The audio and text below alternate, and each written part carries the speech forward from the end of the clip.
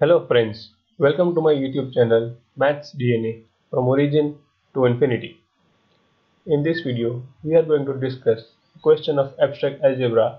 The question is total number of homomorphism from Z8 to Z10 are. The options are A1, B2, C3 and D4. Now this is a formula based question but before we go to the formula, let us understand what is homomorphism. The function f from g star to h dot is a homomorphism whenever a star b is equals to c implies f of a dot f of b is equals to f of c. Now, in general, total number of homomorphisms from Zm to Zn is the GCD of m and n. Here, it is total number of homomorphisms from Z8 to Z10 which is GCD of 8 and 10 which is equals to 2. Hence the correct answer is option B. Thank you.